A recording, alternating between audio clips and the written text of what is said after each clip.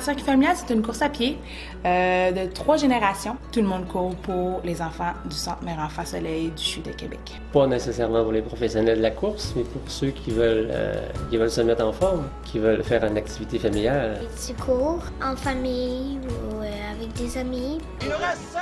On court, pas pour gagner une médaille, mais pour s'amuser. Où c'est le plus émotif. La course des enfants, on a un kilomètre, deux kilomètres. Quand les enfants partent à courir avec leurs parents. J'ai participé l'an dernier avec mon papa. Ma mère, mon père, mon petit frère, mon grand frère, ma grand-mère. J'ai 90. Je vais avoir 91 le 3 septembre. C'était une première fois pour le manoir du Verger.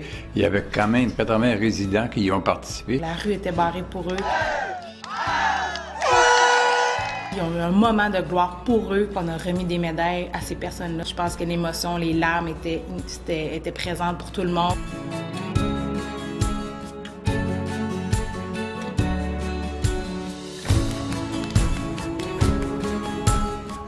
Ben, Mathilde est atteinte euh, de paralysie cérébrale, mais de dysplasie spastique.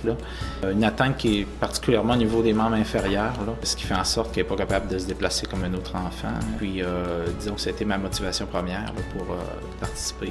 Quand je la pousse pour elle, elle a l'impression que c'est elle qui court.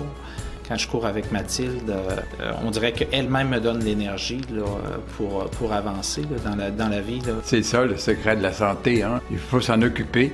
J'étais avec mes fils, mes petits-fils. C'est déjà beaucoup. Parce que je pensais pas de voir ça.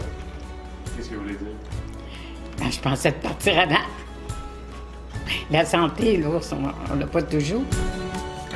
Malgré les limitations qu'on peut penser avoir, ben, on est en mesure d'un fois de pousser ces limites-là puis d'aller encore pas mal plus loin. là.